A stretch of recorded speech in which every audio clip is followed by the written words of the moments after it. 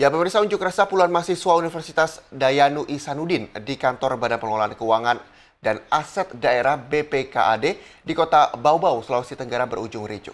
Karena kalah jumlah mahasiswa pengunjuk rasa menjadi bulan-bulanan aparat Salpol PP yang mengamankan kantor BPKAD.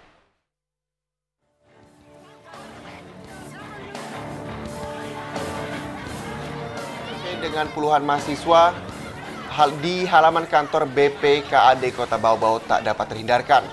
Sejumlah mahasiswa tak luput dari amukan aparat Satpol PP. Aksi penganiayaan ini bahkan berlangsung hingga ke dalam kantor BPKAD. Bentrokan ini bermula saat puluhan mahasiswa yang melakukan unjuk rasa menuding Kepala BPKAD Kota Bau-Bau Abdul Fatar telah menggelapkan dana proyek pembangunan gedung di RSUD Kota Bau-Bau tahun 2013 yang saat itu dikerjakan CV Citra Baru.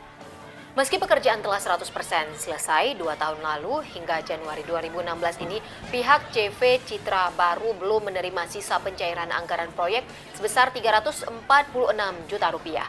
Akibat dari bentrokan sejumlah fasilitas kantor seperti kaca pecah dilempar oleh pengunjuk rasa, begitu juga papan nama dan mobil juga ikut dirusak mahasiswa.